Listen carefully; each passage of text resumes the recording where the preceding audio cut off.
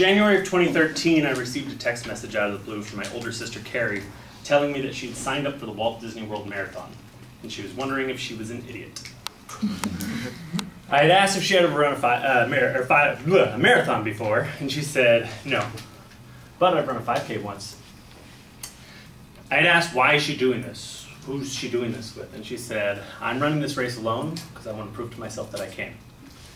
So before I answered her question, I ended up on the website looking up information about the race and finding myself pondering like, wow, this is so impressive of her to do this. Is this something I should be trying to do? Something try, I try to improve for myself. And before I knew it, all of a sudden I was signed up for the race and texting her back, well, now we're both idiots.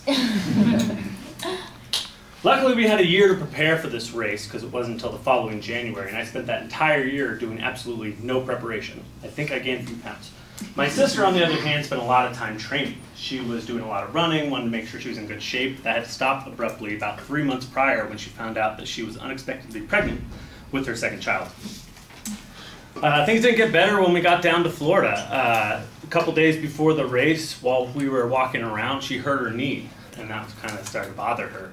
And instead of resting it the day before the race, we spent the entire day walking around Disney World instead.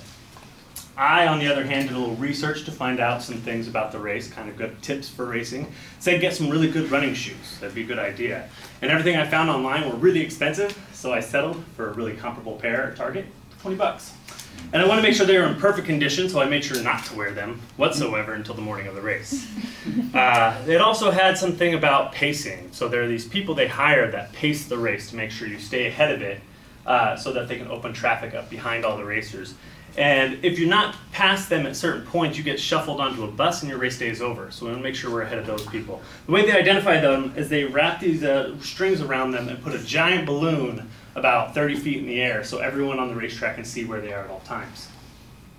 So the morning of the race, we get up about 4 o'clock because the race starts at 5. We get down to the track, but we find out that we're in the very last grouping because we're not particularly runners. So they make sure everyone gets ahead of us before us slow people get our uh, race started. And since we were down there for so long, my bladder got the best of me, and as soon as the race started, I rushed off to a porta potty on the side of the uh, racetrack. Uh, my sister forged ahead; she didn't have to go to the bathroom, so as soon as we got out, I kind of forgot that it was 5:45 in the morning, so it was incredibly dark, and I forgot that it had rained the night before. So as soon as I go rushing off, I splash right into a puddle that soaks all up into my brand new shoes and my socks, twists my ankle a little bit, and I can't really deal with it because I got to catch up with my sister, so I go sprinting ahead. Uh, at about three miles in was the first time my foot really started to be like agonizingly painful. I looked down and the shoelaces had kind of bunched in a little bit of a way that was just really causing a lot of pain. So I committed the ultimate cardinal sin and took the shoe off, took the sock off, and I tried to dry it off, reconfigured it.